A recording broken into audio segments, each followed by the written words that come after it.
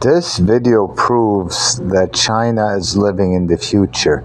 It's a very developed nation and it continues to grow and improve in all aspects.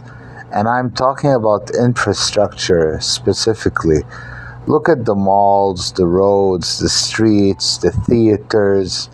Everything just looks incredible.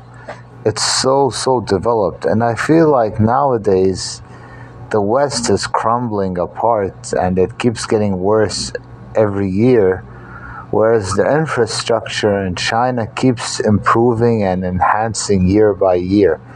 Anywhere you go, you feel impressed, whether you go to a park or you go to a mall or you go to a main street in any major city in China. Be prepared to be amazed. I mean, it's just so incredible. Like every time I go to a new place, I feel impressed. Like, and I think this video that I'm presenting you proves what I'm saying is this place is truly remarkable.